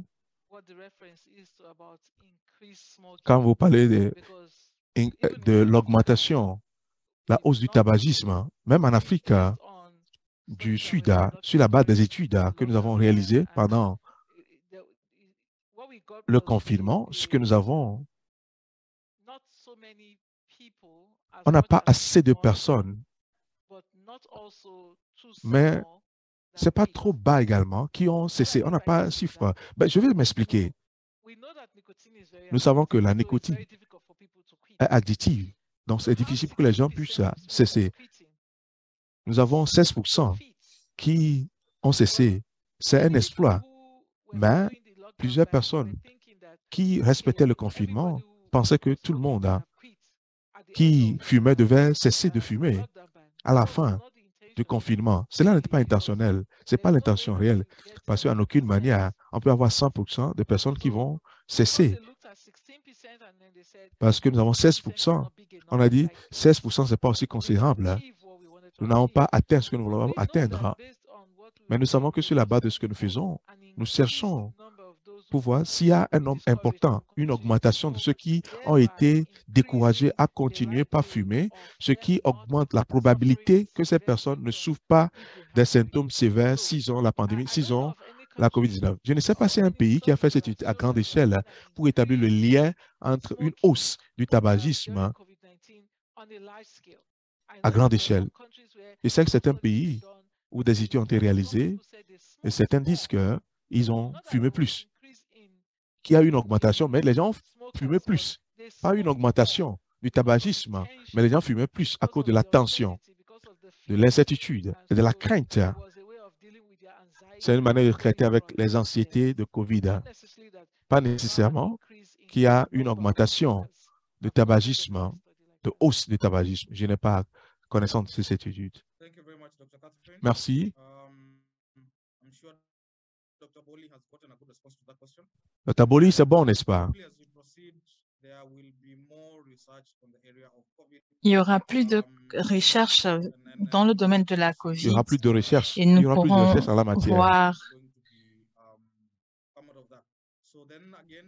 Donc, research je pense qu'il y subject aura des recherches additionnelles sur le sujet.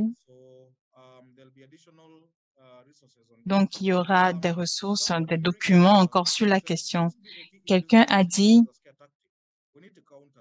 nous devons travailler contre les tactiques du, tabac, de l'industrie. Par exemple,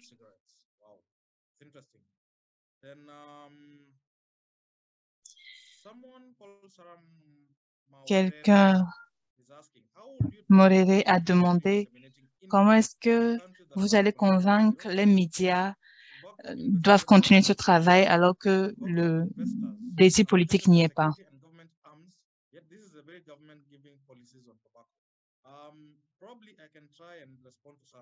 Je peux essayer de répondre à Sarah.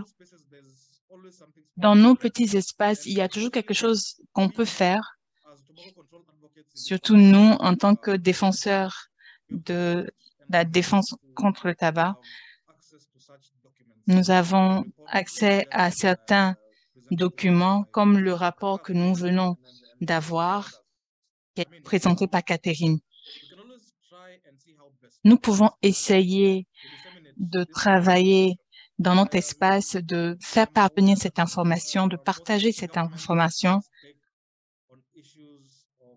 que les gouvernements ont souvent des intérêts dans cette histoire de tabac, mais nous pouvons trouver toujours le moyen de faire une chose ou deux qu'on aura trouvé dans le rapport. Donc, je pense que c'est quelque chose qui peut être utile. Je ne vois pas d'autres questions.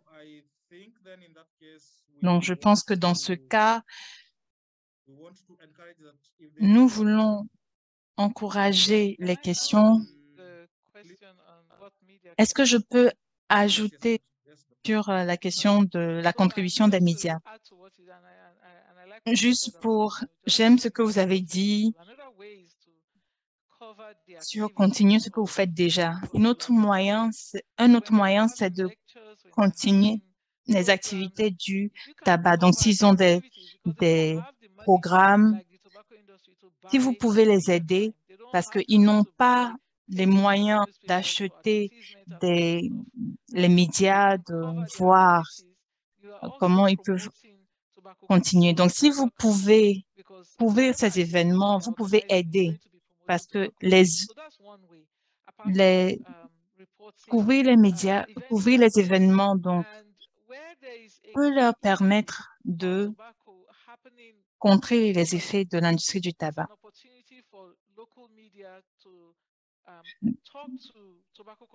C'est une opportunité pour les médias locaux de parler avec les défenseurs contre le tabac dans ce pays.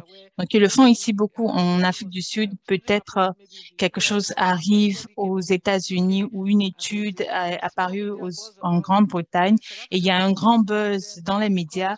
Les, les médias de la de l'Afrique du Sud nous contactent directement comprendre ce qu'il y a derrière. Je ne sais pas pour les expatriés dans ces pays, mais un des moyens pour les médias de s'impliquer, c'est aussi quand vous faites une étude dans votre pays qui montre certaines solutions, certains éléments qui doivent être promus, c'est aussi une bonne opportunité pour les médias de travailler contre l'industrie du tabac. Je pense que l'Afrique est le neuvième ou le dixième pays.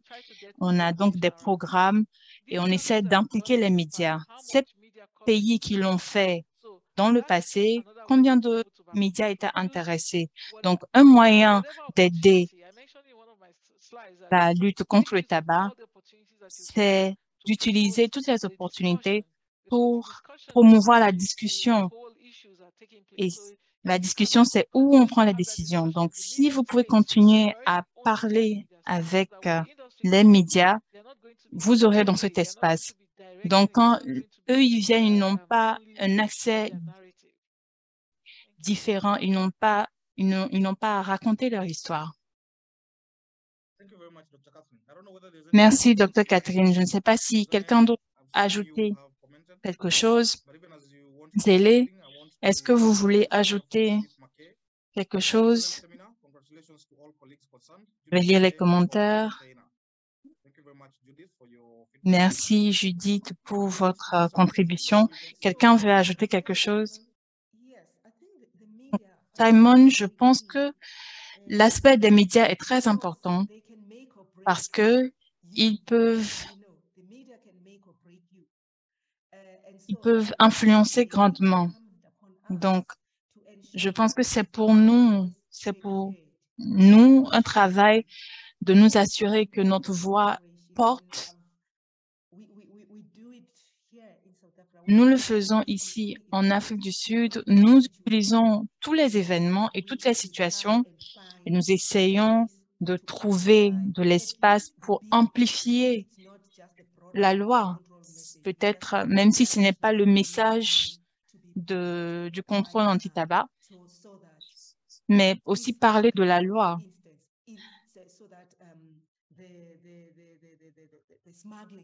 afin que la contrebande de produits du tabac arrête.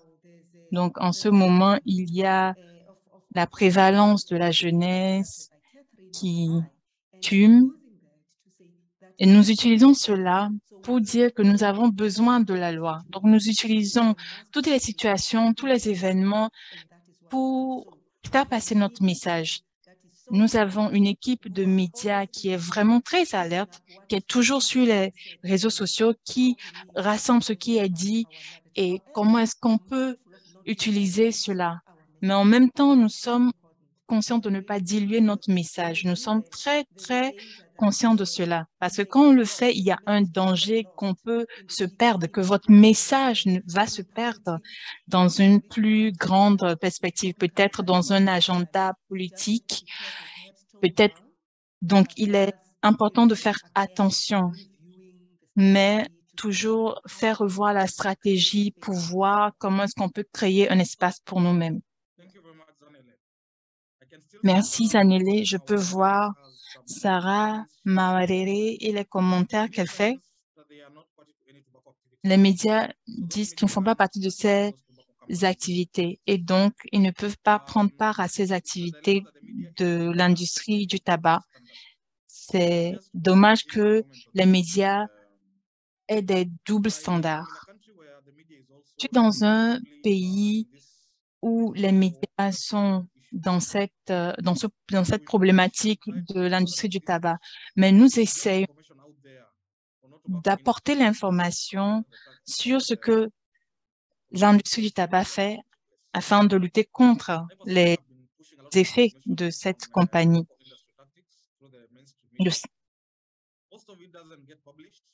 Mais la plupart du temps, on ne publie pas nos travail, mais ceux qui sont publiés publiés contribuent à notre travail.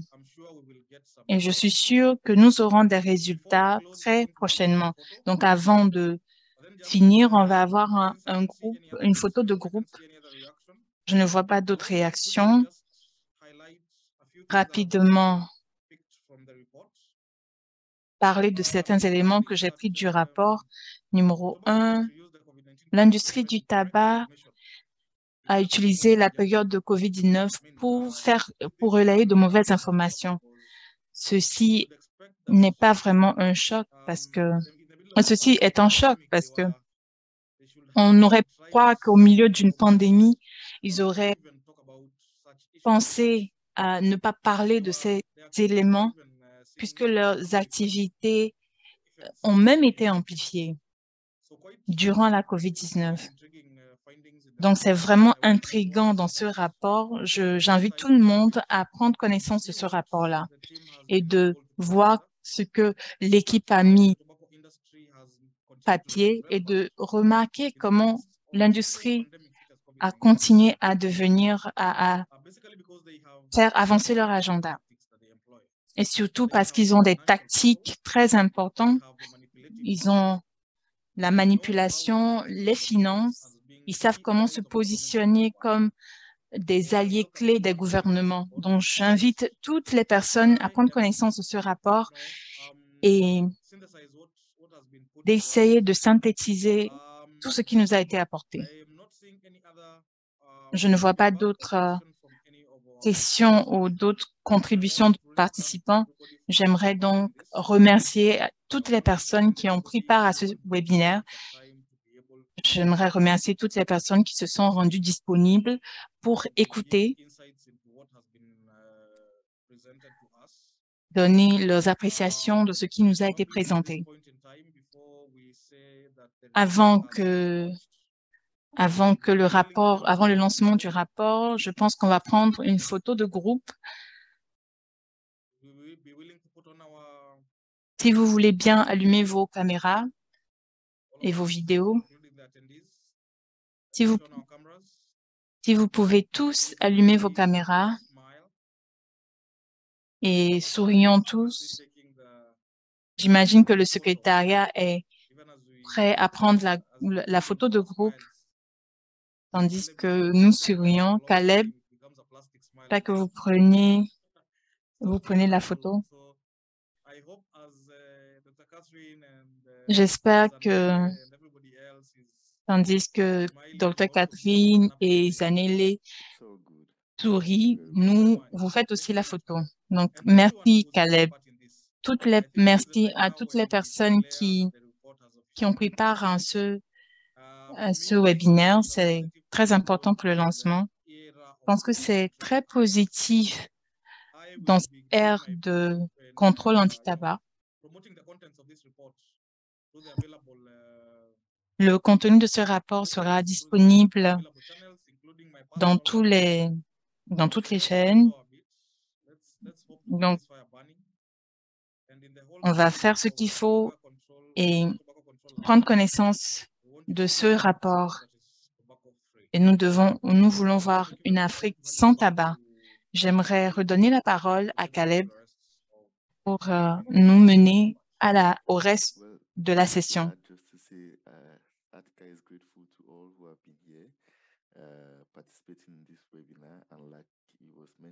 The page uh, that hosts the uh, the report is going to be um, is going to be fed with uh, more information, more resources, including a report uh, that was published by Dr. Boli. He talked about it a while ago.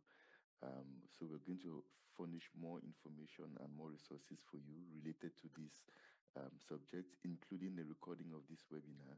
You'll be able to get all of that on the on the page that has been shared to you that hosts the the record the the uh, uh, the report. I'm also going to send all this information to everyone who registered for this uh, uh, webinar uh, through email. Thank you very much. Thank, Thank you you, very and we much. wish you a great day, uh, a great day ahead. Bye. Thank you. you. Bye. Thank you Bye, everyone. Bye-bye. Thanks very much, Good days. moderator. Okay, thank you. Thank you, Dr. Catherine. Bye.